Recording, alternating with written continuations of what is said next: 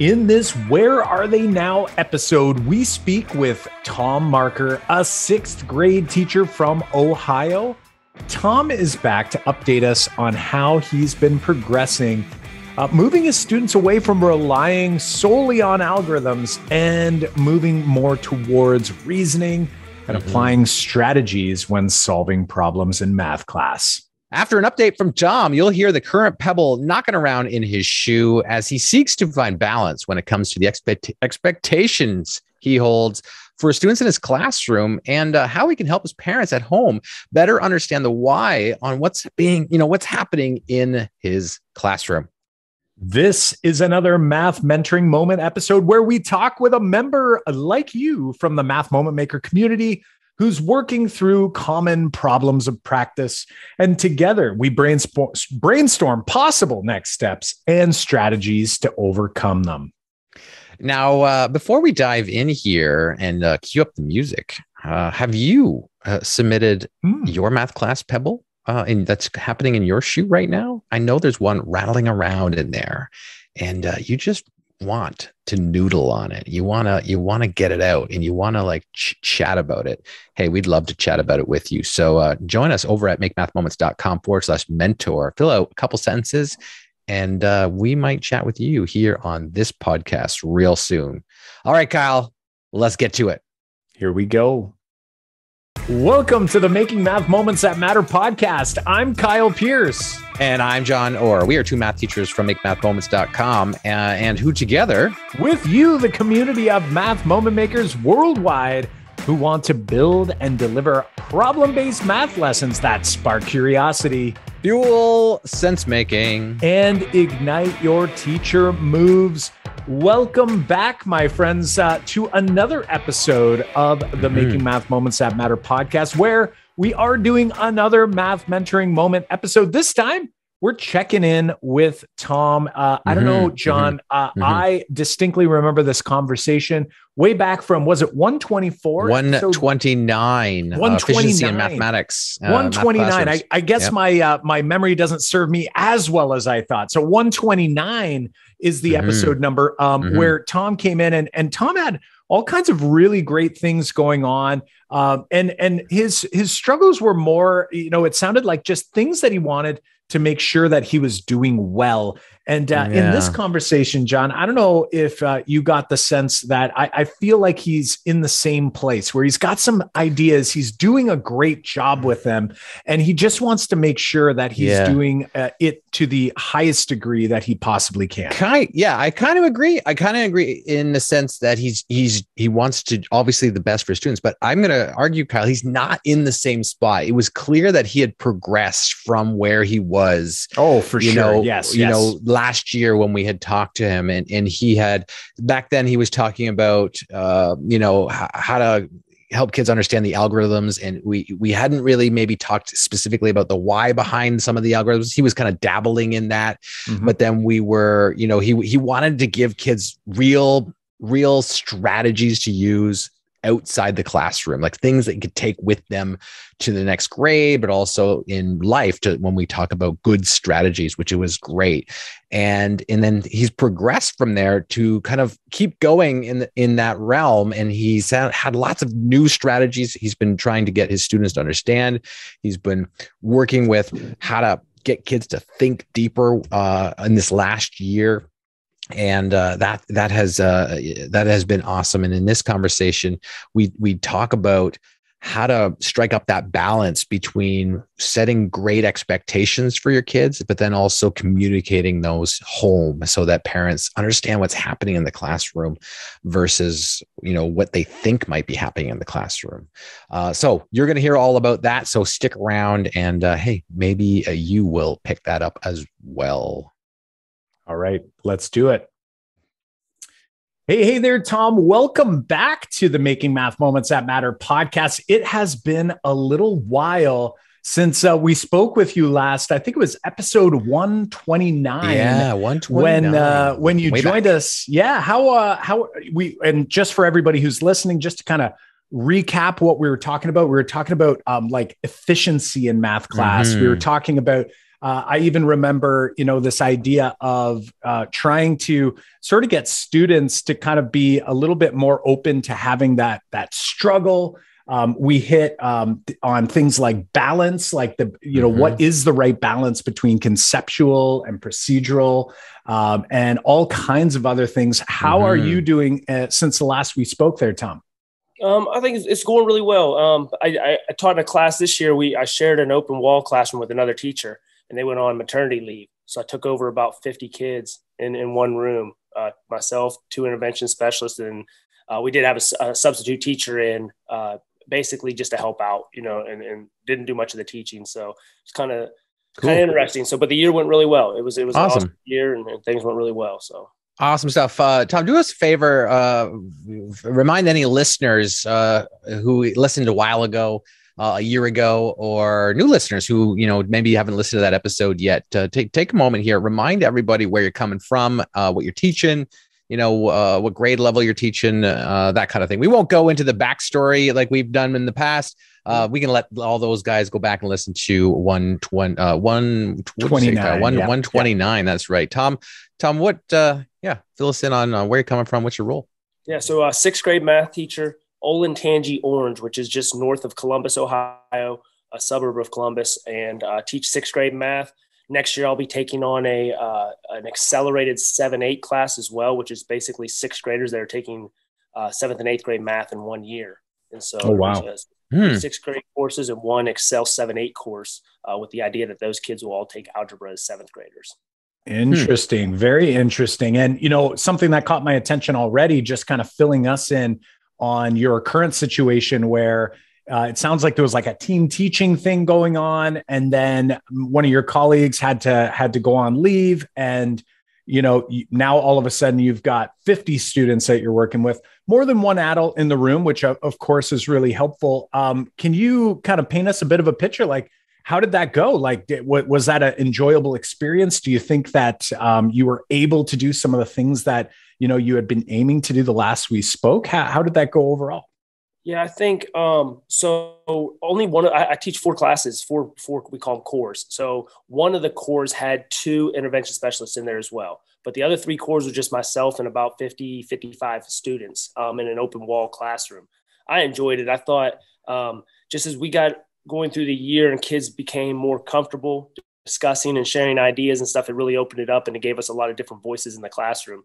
Uh, but I do think I, I, missed the boat on some kids. You know, when you have that mm. many students mm. and, trying to make sure you don't let anybody fall through. And um, I'm actually on a new book right now, and I know you guys mentioned it several times on a, on the podcast with the um, creating thinking classrooms. Oh yeah, and, mm-hmm. and good book. See how it's just going to flip the way I do things next year. I, I think if I had I read it before this year, I think the 50 student classroom, 55 student classroom would have went a lot smoother than it did. Um, but I have some ideas going forward, which I think will help.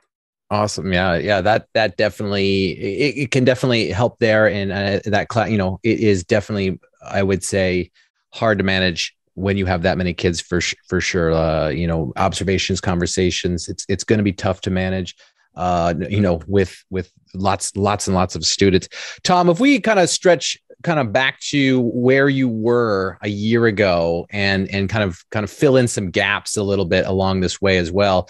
Um, that conversation that we had, uh, uh Kyle kind of talked a little bit about what we talked about, but I re- what I remember as well is you know you, you had voiced uh, some like your your goals were to like help kids with you know, not necessarily algorithms in class, but give them tools that were going to be useful outside of class. And and then we we did talk about like how to like hold back on some algorithms and and, and introduce some ways for um, you and the students to kind of build some some conceptual understanding as well first and then kind of introduce algorithms along the way tom why don't you uh, fill us in on like where you were then on in your own words and then and then like where what has happened since then on your journey? So thinking pedagogically thinking about some of the some of the aspects you've tried in your class and then landing where you are now. Yeah i'd say i continue to develop um like i don't want to say that like sometimes i read things or I'll, I'll, see things and i'm like man i already do that in my classroom and it kind of affirms what we're doing what i'm doing and i think it's mm-hmm. working in a positive way. Uh, one thing that's been big is and I don't know if I'll use the right terms. There's so many terms out there, but like problem strings and getting students to like I what I call it because I also coach baseball. So in baseball, we teach things like on a progression, right? Mm-hmm, and, and mm-hmm. one thing builds to the next, and you learn some things in this piece that are going to get you to the next step, and then you use those prior skills and, and keep adding upon those. And I think I've done that a lot in the classroom. I, I, was just talking to somebody the other day about like multiplying with decimals and and starting off with whole numbers and then putting a decimal in and then talking about what that looks like. And so um, for me, I haven't, I, have really tried to stay away from the algorithms and not race to the algorithm. Like that's been a big, big push in my classroom um, and get away from the gimmicks like the is over of and the uh, keep change flip of, of de- fractions and things along those lines. And, and I, I've really worked hard to try to find ways to teach the why behind it and then mm-hmm. students eventually arrive at the algorithm. Um, I don't know the exact name. There's a there's a guy that does a bunch of TikToks, Howie. Um, Howie Hua.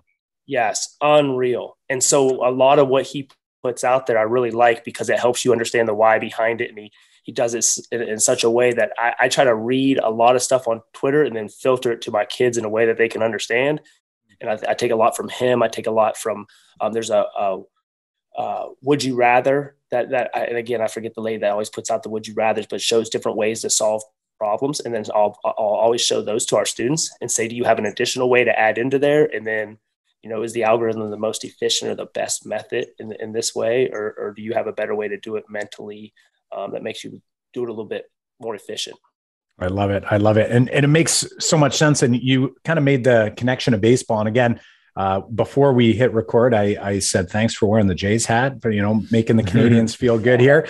Uh, but uh, but also you know connecting it to baseball, it's the same idea where there might be certain routines in baseball that you do, but every situation may or may not make that routine make sense, right? So there's certain times that we do certain things in baseball where it makes perfect sense and then in other times uh, it, it maybe it doesn't right so it's very situational i really like that so some of howie's work there i wonder if maybe you were referencing maybe it was pam harris who uh, does some of her uh, her strat chats um, on on Twitter, which are really cool as well, where the the, the problem she's selecting um, sort of elicit certain strategies. They sort of like mm-hmm, lend mm-hmm. themselves to certain strategies, and uh, I, I always find that really really helpful too. So I'm wondering, what is on your mind lately? It sounds like a lot of the things we had chatted about, you've been, you know, feeling pretty good about them. Um, you had an interesting scenario with your with like 50 students coming together. Um, but like what's on your mind currently? So you're reading peter's book uh, thinking classrooms. Uh, where's your head at? What's uh, what's that like pebble kicking around in your in your shoe right now?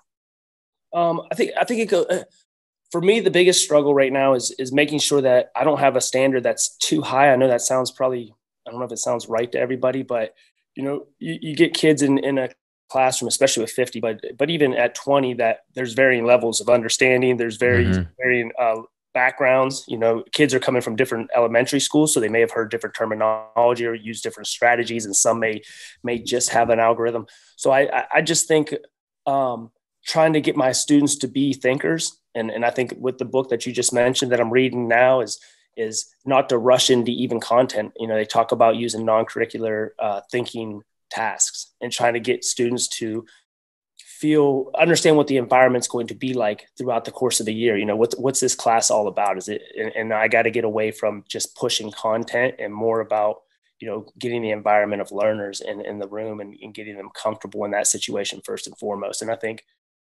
making sure that the standard is the standard you know that, that we want students to think period we don't want them to get answers and i think a lot of times i've got to do a better job of working with the support staff whether it's a tutor whether it's a parent at home whether it's an intervention specialist and and, and just helping them understand that we're not in the business of answer getting you know hmm. like we don't want just answers we're in a business right.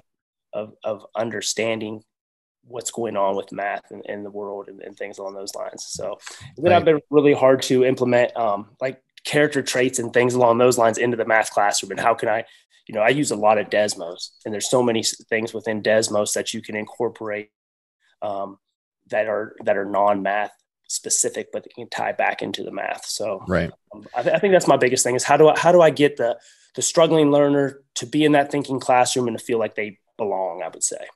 Gotcha. Gotcha. So a struggling learner in a thinking classroom and you're are you experiencing that you're you're seeing kids who feel that they don't belong or may, maybe kind of kind of dig let's let's dig a bit a little bit there on on the on what you're seeing what you're witnessing how how are you kind of identifying that this is a is a big issue you want to discuss I would say how do you like I think every every student feels like the A and A is success, right? And, and, a B is slightly less successful, and a C is is non-successful or or not. You're not getting as much success as the A, and trying to get students to understand that like where they are and just growing from that point is a success. And I think so many times, even as a as a teacher or a coach or an intervention specialist or or, or support staff or tutor or whatever, if the student's not getting all the right answers, you feel like they're not successful in that classroom and so for me, sometimes I tell kids that um, a, a hard earned C when you came in with maybe lower level understanding, you know, and, and, and you only understood 40% of the content and now you understand 70% of the content, that's a success. And so just mm-hmm. getting kids to see their growth in math and not link it directly to a, a letter grade, I guess. Mm-hmm. and so it's hard. It's really hard, especially this day and age, is to get parents to understand that like sometimes a hard earned C is a really good year for a math student who's enjoying the learning process. Right, right. And you know, you got my wheels turning here because you know, you bring up something and I I know there's people listening that are shaking their head and they're they're saying like, "Yep, Tom has referenced something that they're struggling with as well." Um and you know, I'm going to bring it back to the baseball and I'm wondering like in baseball, especially when you think about a, a, a, ball team, like whether it's majors or I know you're in a college ball and, and you coach. Uh, I'm wondering, you know, on a baseball team, there's all these various strengths, right? And as a coach and as a player, when when players are there, I'm wondering what's different about that scenario because, like, I feel like in in baseball or in other sports, you know, there's almost like the player, the athlete, sort of knows when they've grown quite a bit. Um, and then usually at the end of the season, though, like something that's really different is like we don't have to say, like, oh, you know, you were a C ball player, you know, this year. You know, you were a D ball player. So, like, great, you know, great job going from a D to a C. Um, I'm wondering, like, how might how might we maybe like leverage some of what we do in like sports or in things outside of school? And like are there any elements that we might be able to bring into the classroom? Um, i'm wondering like where's your head at? Like does that trigger anything for you as a coach? Like what what what does that look like or sound like for you as a ball coach? Do you have the same challenge or do you feel like you know your athletes feel differently about you know the progress that they've made we talked to our guys that so I tell my baseball team all the time stories about my classroom and then vice versa. My classroom. right, right, right. Yeah. And, and, my job, I tell them I work really hard to blend the two, you know, like to blend coaching and teaching into the same, like your, your, your goals are the same. You know, you're trying to grow people, whether it's in the math classroom or whether it's on the baseball field.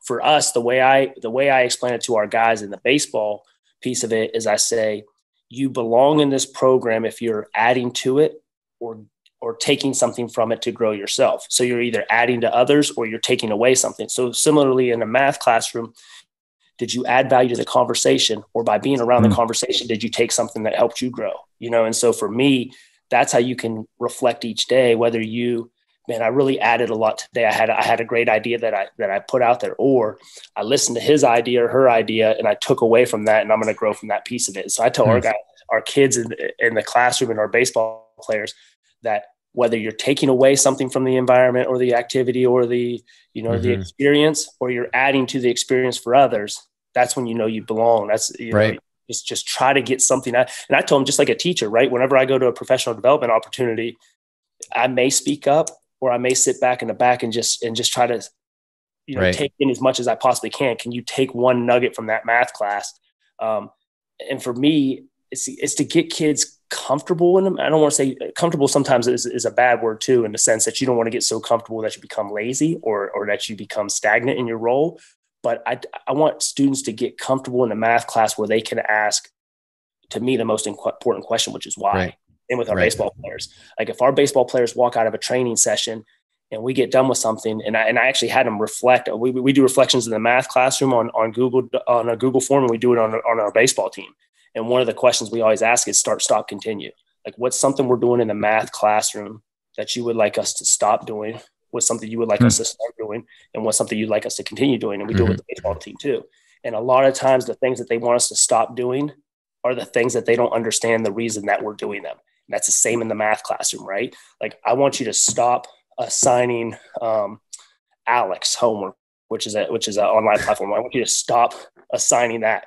And if right. I if I don't have a good reason for assigning that to a student, or the student doesn't understand why they're being assigned that, we should probably stop doing it. So a lot yeah. of times you see the stop piece of it, whether it's in baseball or math, it's because they don't understand the why behind what we're doing. In the, and sometimes the stop doing is something that they're absolutely right on too. You know, the mm-hmm. kids say, and when you ask that question, you have to be ready to be you have to be vulnerable right because they're mm-hmm. going to say some things that may catch you off guard but 99% of the time they're probably right, hmm. right?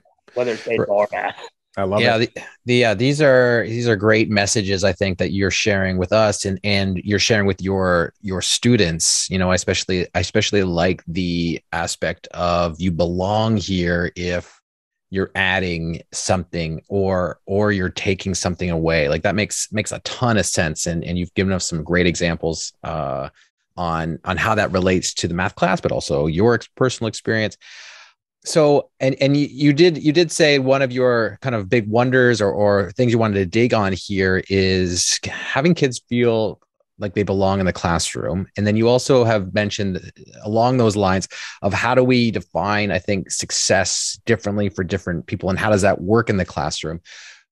But you're also you're also giving us some great insights of, of how you're achieving those. So so Tom, I'm I'm wondering is is the is the real issue here helping the kids understand this or is it helping the parents or where is this big issue for you do do you think I would say developing like I like what you mentioned the parents. I think we or even myself mainly have to do a better job of really getting people to understand what goes on in the math classroom these days, right? Like how it's really changed for the better and getting and and so if anybody has strategies out there, like we we have an open house, we have a curriculum night, but in my opinion, it's not long enough or it doesn't it doesn't give us enough time or opportunity to explain that. Does somebody have you know something that they put out to parents in an email but then again how do you know it got read um, but a way to articulate that it's really not new math mm-hmm. that everybody's so frustrated and upset with it's actually thinking math it's actually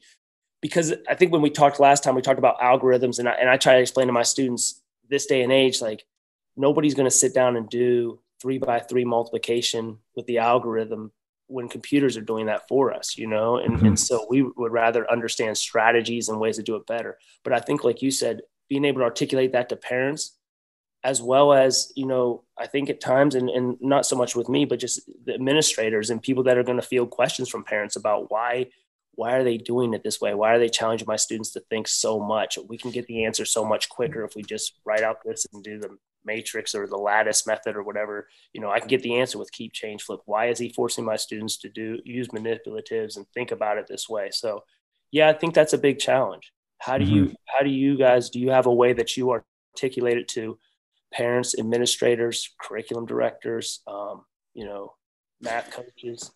Yeah, you know, I, I think, you know, you've kind of a lot of what you've said is sort of i think the answer to this mm-hmm. challenge with with it like people outside of your class like it already it sounds to me like you're doing an excellent job with your with your you know your players your team your students whichever group you're working with in terms of making sure they understand the why or when they don't you're giving them an opportunity to tell you about it right so i love that you know that stop idea right so you know stop continue um well, what's the other one uh, stop, start, continue. Start. Yeah, there you go. Stop, start, continue.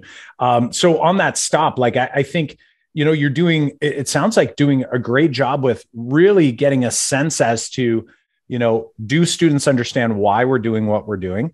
And then if not, it forces you to kind of think like, oh, okay, I have to help that student understand why I assigned that. Or like you had mentioned, you know, you might go, well, wait a second, maybe they're right. And maybe we should stop it. I wonder if there's something like that that could um, you know, maybe maybe it's uh, not ready for it for say your your parents and your admin because I don't know if they know enough about it. So, like you were saying, it's like they need more time to understand the why.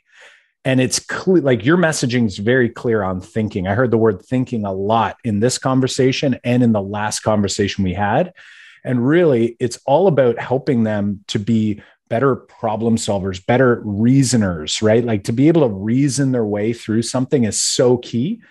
I wonder if maybe kind of working towards like having an open, you know, call it like an open class after school sort of thing where maybe your parents come in, you actually engage them in a task so that maybe they can experience it. And obviously it's got to be a you know a well enough selected task where no one feels you know that they're they're not at a place to enter into the task because that's really scary for adults right? Parents might come in sort of feeling like i'm not really a math person.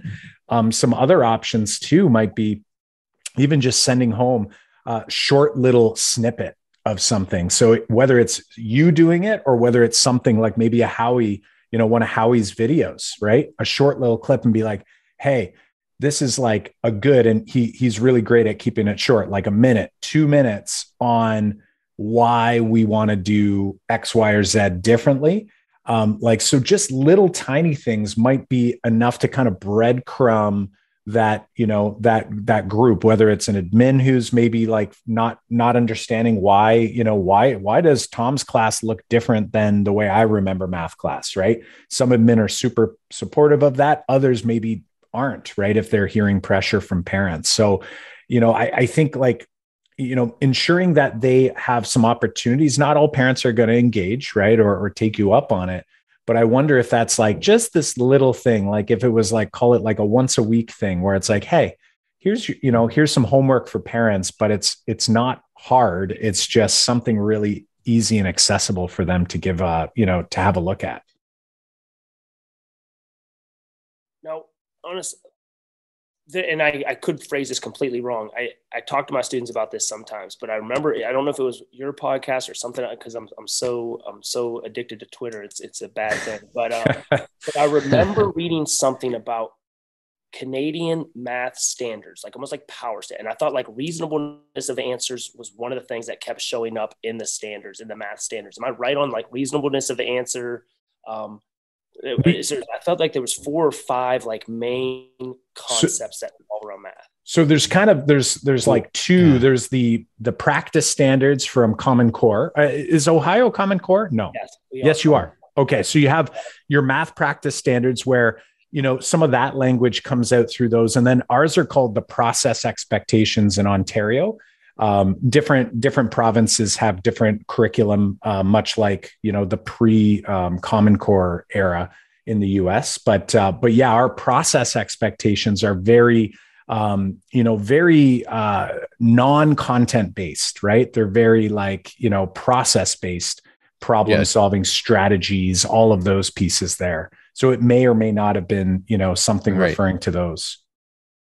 Yeah, and, and I was I was thinking along the lines of what Kyle was suggesting for communicating to parents and and, and other stakeholders in the sense of um, I think you know when we when we try to you know show people a different way of thinking or a different way of trying things, like not necessarily it's about math. It could be about uh, you know other things like a different way of you know your batting stance or the way that you're going to you know approach the ball. It's it's i think people have to experience a small success so that so that they are then become believers. Like i think when kyle suggests like get them in the room and give them a task uh, so that they can experience that that success and go ah like that's one way to do it. But i think also you what you could also be doing is if we can't get them all in the room because that might be a logistical thing or or but it could also be like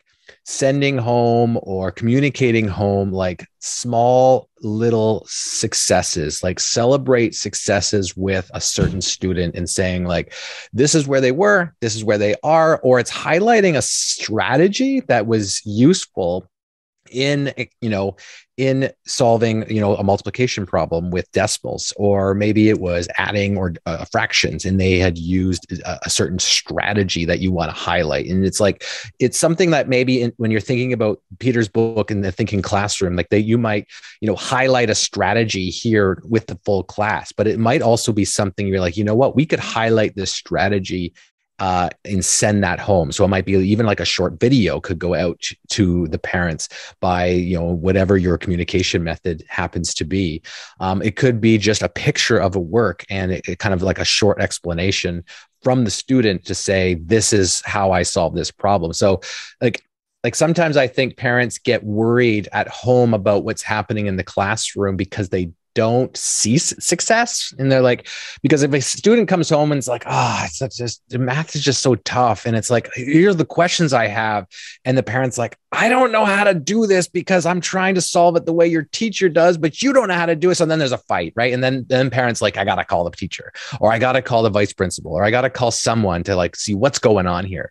Like you probably don't get calls from people or uh, that are like they've either they've either understand it or or they've helped their kid or the kid didn't have a problem to begin with or, or struggle with anything. So so it's like what could we do to send some of these small successes home to highlight hey these things are working? Because because if they can see that hey these things work or these things are are helpful i might be more inclined to be on board to help my kids also feel those successes. So that might be a strategy that you could also communicate if there's you know that disconnect that's happening between what's happening in the classroom and uh and uh, the strategies you're doing and what's what kids are showing at home or what parents are seeing at home that's helpful helpful yeah i, I got to do a better job of that for sure I love it. I love it. Well, we've got we've got quite a few ideas here float floating around. I'm wondering uh, what might be uh, like your biggest takeaway from either your experience over this past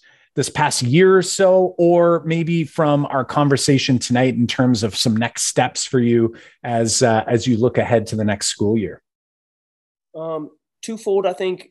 I, I love the idea of just getting sending some stuff home for parents to see, especially you know maybe with a video or like you said, highlighting certain strategies. Um, and for me, I think it's getting students to understand like what exactly fun is. And I've been trying to define. I just got done mm. with a youth camp, and um, we had youth camp Monday, Tuesday, Wednesday for our, for our baseball kids. And I defined for them, I try to explain to them in baseball, like fun for me is defined as doing difficult things well. Like mm. that's fun. Hmm. You know? So when you sign up for a baseball team, if you're winning every game 18 to nothing, eventually it's not fun anymore. And so in the math classroom, I, I think about it very, very much the same way. If, if the math problems are always basic and I already know how to do them, I'm just going through them, that's not much fun. But mm-hmm. if I mm-hmm. have strategies and I, I I'm a really good problem solver and I can reason through certain problems that are difficult and I can do the difficult well, then it becomes fun. And so just mm-hmm. trying to get parents to understand that that productive struggle is a positive. It's the only way they're going to have fun. Right. Because we had we've had parents who'd say, you know, should my kid be in a different core or should they be in a different class because they're struggling and they're getting that hard earned B and they're showing really good skills and they're developing really strong student skills. They just don't have the 98% slash 100% that they're used to having. Right. And to me, sometimes 100% is very scary. It's like that team that goes 25 and 0 in the summer, and you're like, man, right. I don't know if that's a good thing.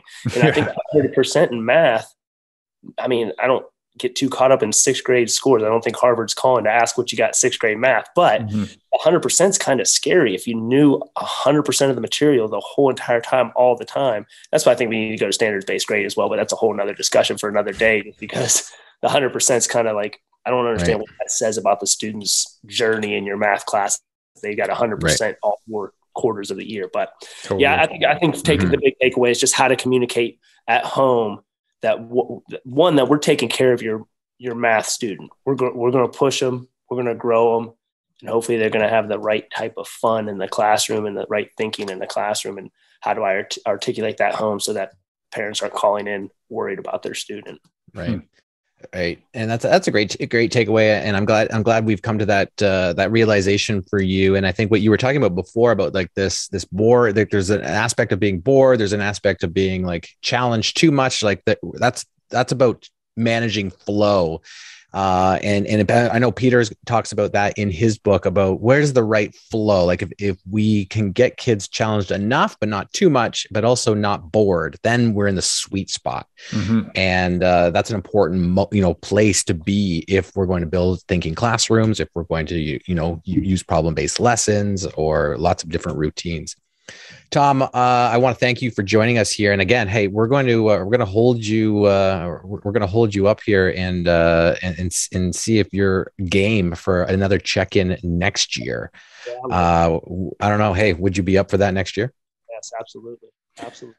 I love it. I love it. It's great to see the journey of so many educators. Uh, we're getting so many more of our math moment makers coming back on to kind of update us on the journey. It's so great when we see the growth um, you know, Tom, I know we don't know you face to face personally, but just based on the last conversation we had and then hearing where you are now, it's like it's clear to us that we we see that you know you as an educator are growing as well. Uh, you know, you probably notice like Jon and I are growing as well. Like we're all growing, and and clearly, um, you know, you're you're putting a lot of time and effort into what you're doing in the classroom. And every single little bit of that is paying off and it's paying dividends in the long run. And, you know, I think the more we do this as educators, the easier it becomes for us to, to demonstrate that to our students. And clearly your message here that we heard again tonight uh, is very clear that, you know, you, you try to help students understand the why, you try to help them you know like doing hard things sometimes it's very difficult for students to understand right? And you're helping them to explicitly understand